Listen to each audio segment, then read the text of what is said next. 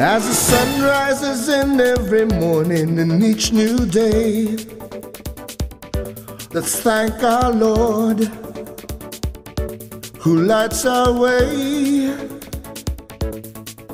We can always be busy with thinking of yesterday, but then our God will make a way.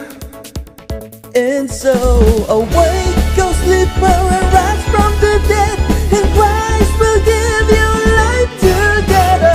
Awake, arise, fulfill, with spirits high, be children of light. Awake, arise, fulfill, be one with Jesus.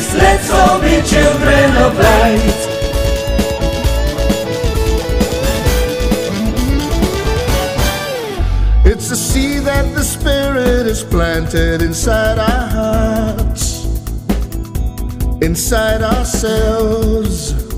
That's where it starts.